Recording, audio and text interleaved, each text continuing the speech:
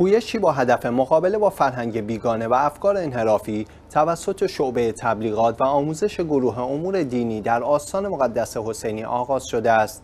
این پویش از حرم امام حسین علیه السلام آغاز شده و گروه های مختلف به ویژه جوانان به این پویش میپیوندند.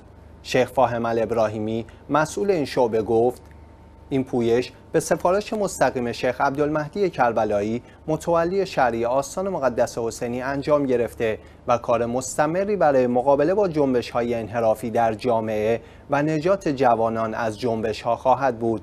این شعبه نشست های مختلفی را با کمیته امنیتی و مقامات مربوطه برگزار کرده است.